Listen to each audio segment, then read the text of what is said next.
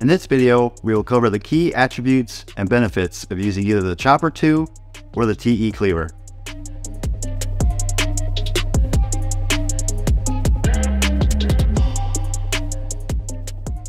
In the 40 to 60 horsepower ranges, Mercury Racing offers two fully lap finished propellers, the Chopper 2 and the TE Cleaver.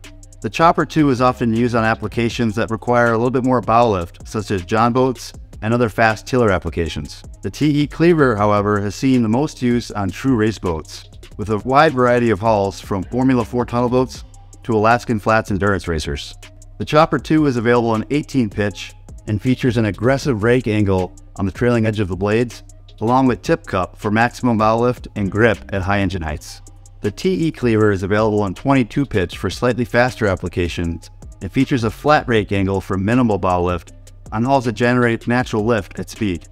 It also has a small barrel design which helps on hole shot and retaining grip at corners. A few key features that set these props apart from one another are obviously the barrel design versus no barrel, the addition of tip cup out at max diameter on the chopper. They both feature our Mercury Racing lap finish for optimal top end speed. To learn more about the Chopper 2 and the TE Cleaver and all the rest of our propeller families, visit mercuryracing.com slash propellers.